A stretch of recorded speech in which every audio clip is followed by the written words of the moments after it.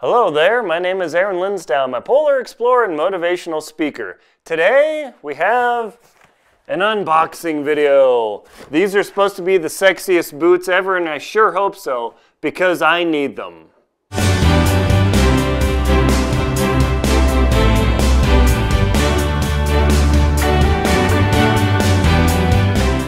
So we're gonna do the unboxing of these boots here. It's supposed to be the sexiest things ever. Very attractive on me, and I hope that they're actually good because my life will literally depend on them. And we'll find out. So let's kick it off, huh? All right. Let's get this down. Okay. Well, hopefully I don't hack open my uh, chair because that would be a real bummer. All right boxes. Whoo yeah! Now, right here, my buddy Larry he always hooks me hooks me up with some stickers and stuff, and oh, the invoice, boring paperwork. Woo! All right. So let's get these boots out. Yeah. Oh hey, check it out. Aqua Seal, even better. Hey, don't bump the camera tripod. All right. Let's get this out. Now, when I said sexy boot unboxing video, what did you think? Gucci? Prada? Heck no! La Sportiva!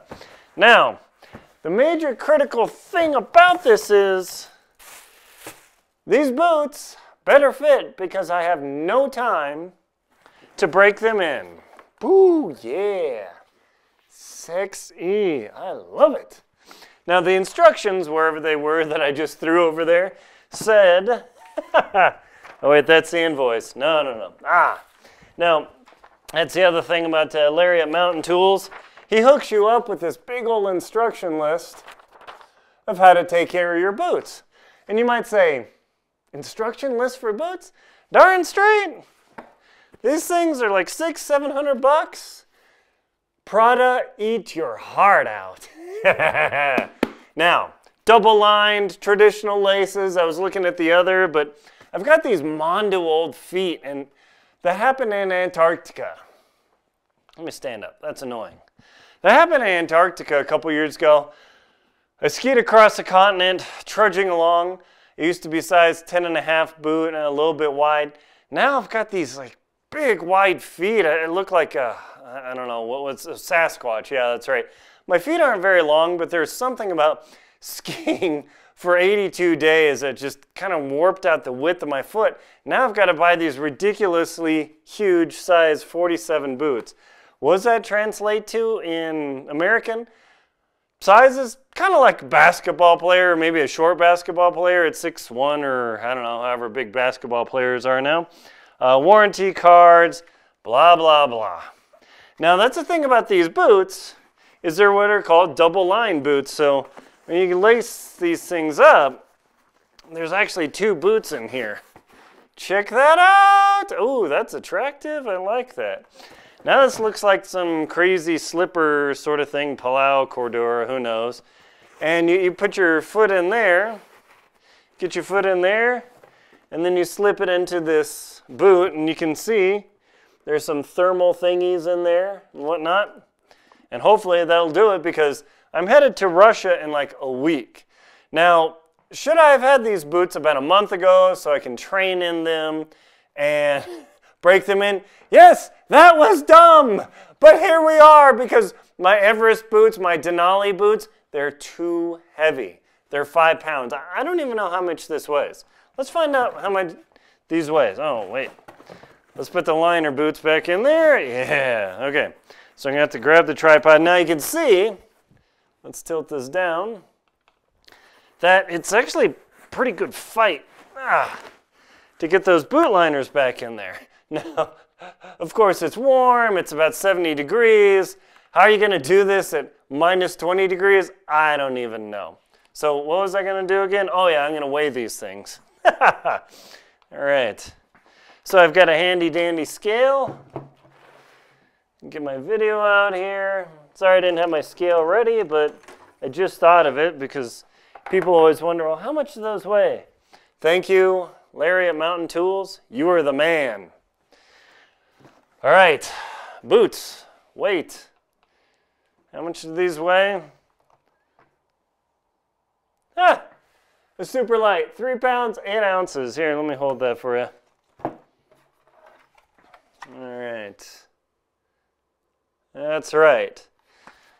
Three pounds, eight ounces. Now, you, might wonder, why in the world do you have to wear all these heavy boots? Well, do you think your fancy flip-flops are going to work climbing a glacier in Russia?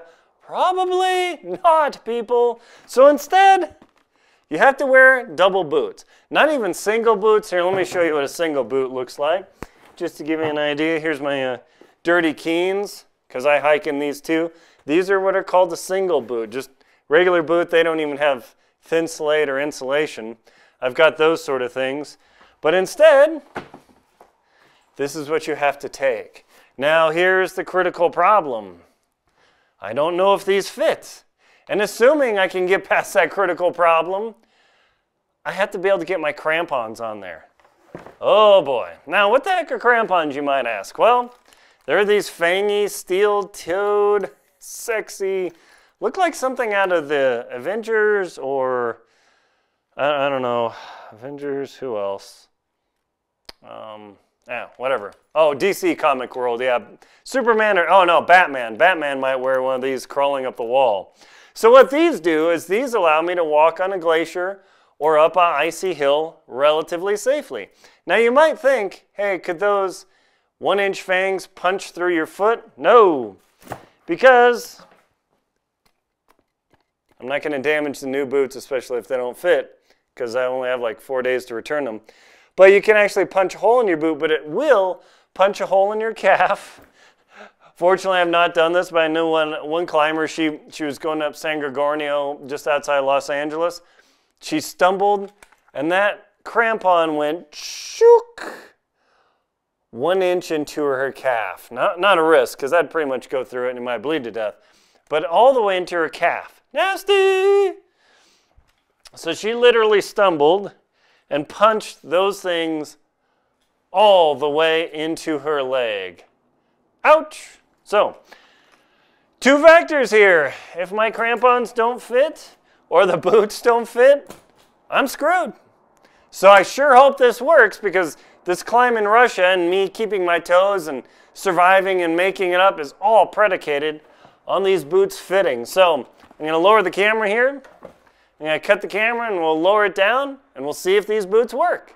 Okay, down at this normal level. All right. So what we're going to do is, uh, I'm just going to wear my little white socks. I just want to see if these things fit at all. Let me go get my wool socks because it doesn't make sense. I'm not going to wear cotton socks. One moment. Here's my little mascot. Her name is Muffin. She probably won't look up. Say hi, Muffin. Hi. Hello, YouTube. Now, Muffin can't wear boots, but I can. Uh-oh, Muffin's done. Okay, put your foot in there. Uh, oh, come on. Oh, now, it's ridiculously long. I mean, my, my thumb, where, where's the end of my toe? My thumb, it's about there. See right there? okay, you got this, uh, I don't know, cool, cool sort of lacer sort of system. That, that's pretty slick. All right. This is the right boot. At least I put it on the right foot. okay. You grab this thing here. Come on. Oh, yeah. Whoo, yeah. Okay. I won't lace these up yet. So far, it feels good. Feels a little snug across the width.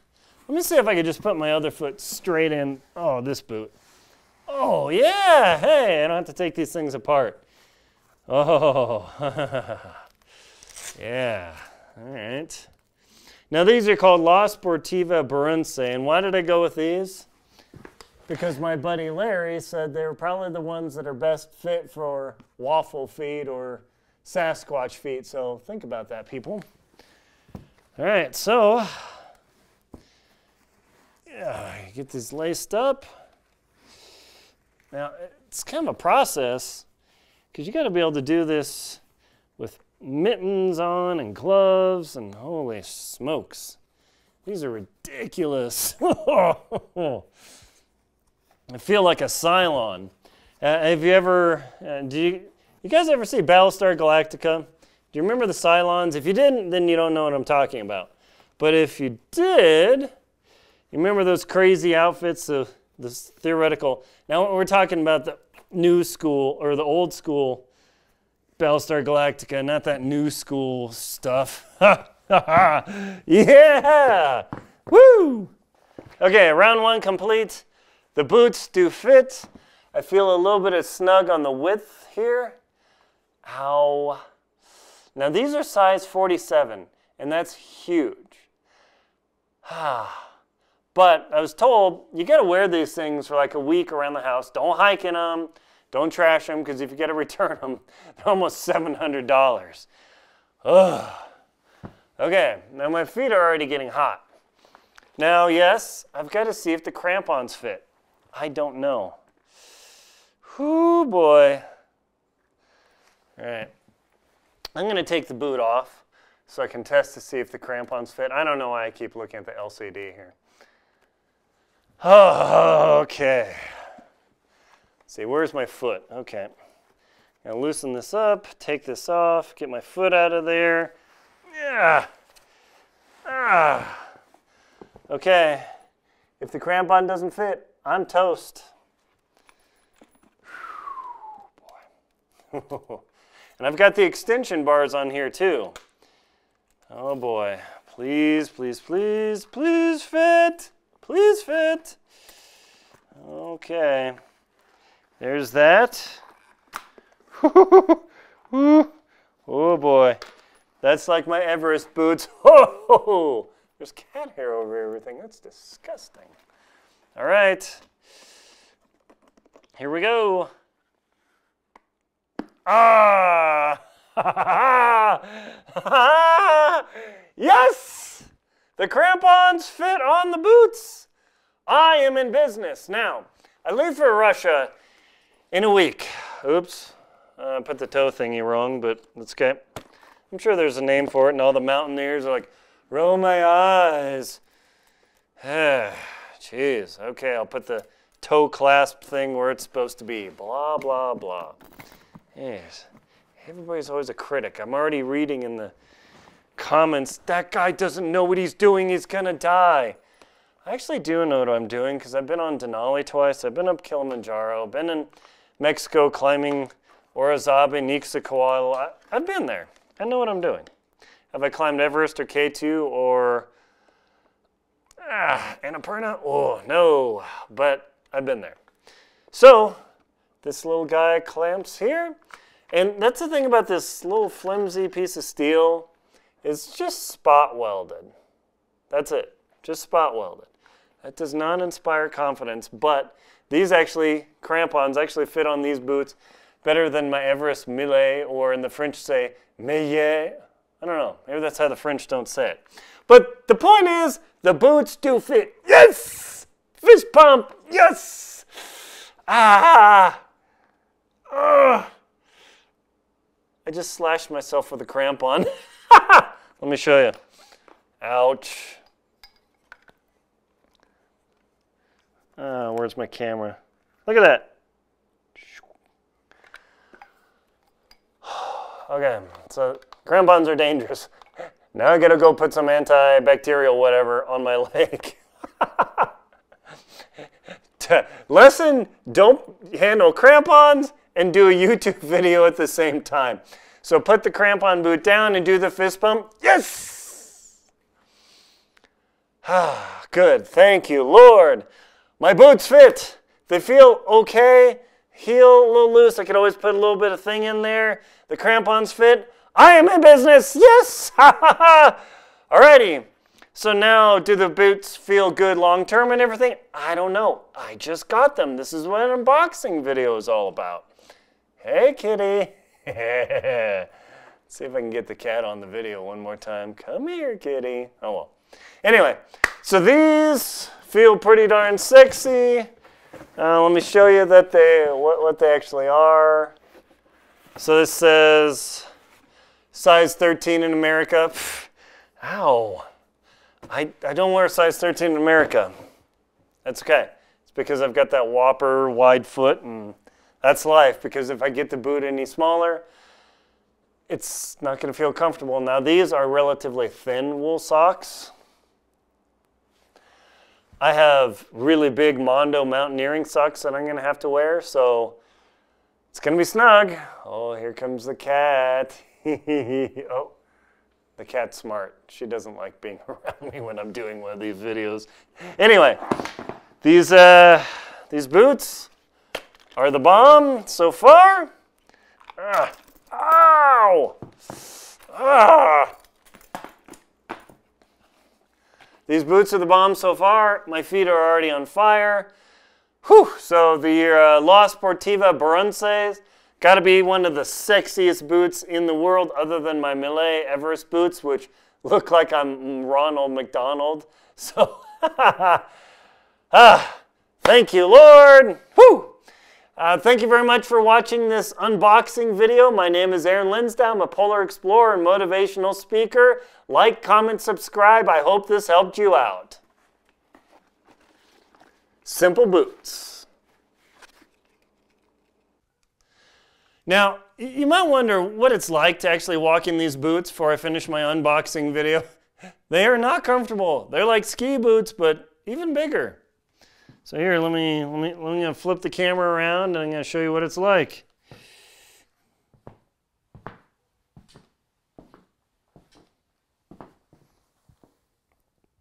My sexy calves. Woo, yeah.